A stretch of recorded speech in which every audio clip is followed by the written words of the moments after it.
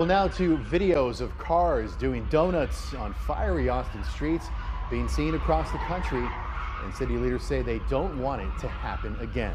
City council members and the mayor say they're speaking with police about how to prepare for and respond to street takeovers like the ones we saw Saturday night. And KXAN's Tahera Rahman reports now the chain of events highlights a long-standing city problem, a 911 staffing shortage.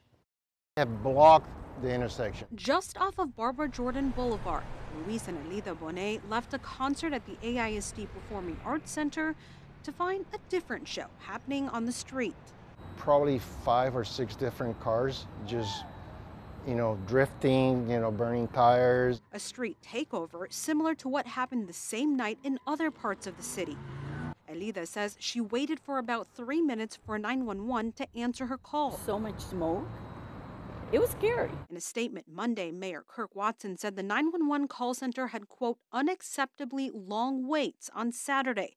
And he's speaking with APD about at least a temporary solution to 911 staffing shortage. I'm happy to know that the city is taking the concerns of council seriously and addressing them. City Council member Mackenzie Kelly says she reached out to APD's Emergency Communications Division Monday, finding out they still have 63 unfilled positions for 911 call takers and dispatchers.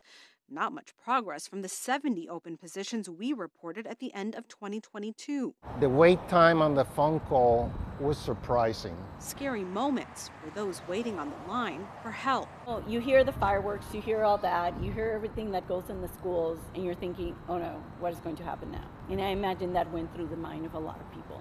Tahera Rahman, KXAN News. And in an update to City Council member Kelly today, APD's Emergency Communications Department also provided its latest response times. Between January 15th and 31st, the department said its average response time to its most urgent calls was 11 minutes. Last year, police staffing researchers said an ideal response time would be 6 minutes 30 seconds.